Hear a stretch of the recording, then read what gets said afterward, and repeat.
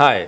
నమస్తే welcome to ITTV news. Cyber నేరగాళ్ళు జనాలను వదలటం లేదు. ఎలాగైనా సరే వారి జేబులను చిల్లు పెడుతున్నారు. గడిచిన రెండేళ్ళలో ఒక్క తెలంగాణలోనే దాదాపు ఐదు వందల ఎనభై ఎనిమిది కోట్ల రూపాయలను కేటుగాళ్ళు కొట్టేశారు. ఆన్లైన్లో అడ్డాగా మార్చుకొని మోసాలకు పాల్పడ్డారు. National cyber crime reporting portal NCRP ఈ విషయాన్ని వెల్లడించింది. సైబర్ నేరాలకు అడ్డుకట్ట వేసేందుకు దేశవ్యాప్తంగా నూట తొంభై బ్యాంకులు ఈ వ్యాలెట్ సహకారాన్ని అందిస్తున్నాయని తెలిపింది. మరి ప్రజలు కూడా ఎవరి జాగ్రత్తలో వాళ్ళు ఉండటం బెటర్. అలా అయితేనే సైబర్ దాడుల నుంచి రక్షించుకునే వీలు కలుగుతుంది. చూశారు కదా ఇది రెండేళ్ళలో ఐదు వందల ఎనభై ఎనిమిది కోట్లు చోరీ చేసిన సైబర్ నేరగాళ్ళకు సంబంధించిన అప్డేట్. ఈ వీడియో నచ్చితే లైక్ చేయండి. For more interesting updates and latest news in IT and technology please subscribe IT TV global media. Thank you.